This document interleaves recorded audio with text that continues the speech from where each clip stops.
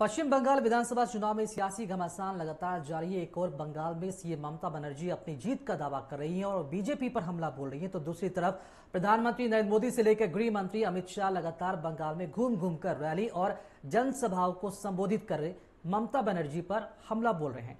इसी कड़ी में मंगलवार को अमित शाह पश्चिम बंगाल के सिलीगुड़ी पहुँचे, जहाँ उन्होंने विशाल जनसभा को संबोधित कर टीएमसी पर हमला बोला। उन्होंने कहा कि दीदी ने बंगाल की जनता को ठगने का काम किया है। वहीं शाह ने इस बार के चुनाव में टीएमसी के हार के साथ ही बीजेपी की जीत का दावा भी किया है। ये चुनाव जो है, हम सब की एक प्रकार से परीक्षा है।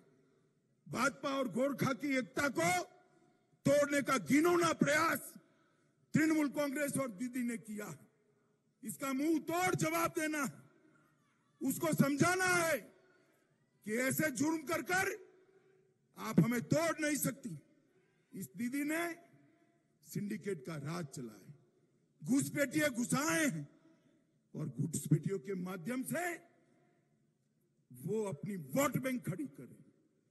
मित्रों, भ्रष्टाचार, राजनीतिक हिंसा, राजनीतिक प्रतिशोध, ये दीदी ने बंगाल की राजनीति दिल्ली से पटना आने के क्रम में पटना एयरपोर्ट पर नेता प्रतिपक्ष तेजस्वी यादव ने बीजेपी के राज्यसभा सांसद सुशील मोदी के रोज़गार के मुद्दे पर किए गए ट्वीट पर जमकर हमला बोला और उन्होंने कहा कि सुशील मोदी को खुद उनकी पार्टी बीजेपी ने दरकिनार कर दिया है। इसलिए चर्चा में बने रहने के लिए अनर्गल बयानबाजी करते रहते हैं। वहीं सुशील मोदी के लगाए गए आरोपों पर उन्होंने कहा कि उनका यह आरोप बेबुनियाद और अलोकतांत्रिक है।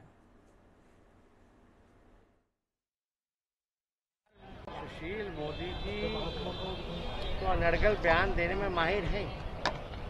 मधुबनी जो उन्होंने ट्वीट किया उसका क्या हुआ वो आप सब लोग जानते हैं। जहाँ तक बात ऐसी बातें अगर सुशील मोदी जी करते हैं तो कोई मतलब ही नहीं है। तेजस्वी जी वो आउट ऑफ़ सीन है। बिहार बीजेपी ने उनको दरकिनार कर दिया है। अब वो उल्टी सीधी बात करके